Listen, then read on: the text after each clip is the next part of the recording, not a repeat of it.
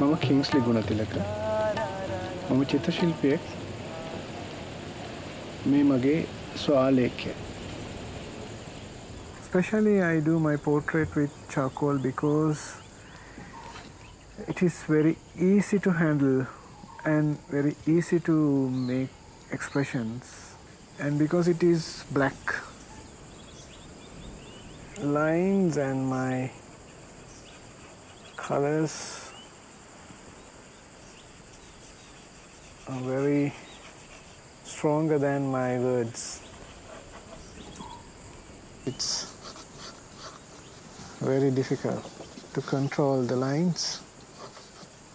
I ask them make me happy but it's not easy. Especially my portrait reflects tsunami because my eyes always get some sad mood sometimes it's also very difficult to find my real portrait of my face.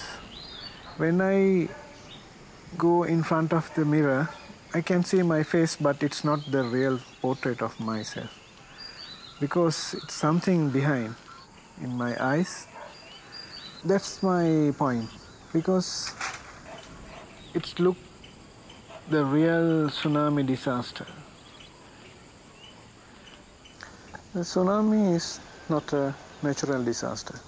It's a really political disaster for me. Because the other countries they have good technology to find the, this type of disaster. But we don't have. And uh, i feel if we have that type of uh, good technology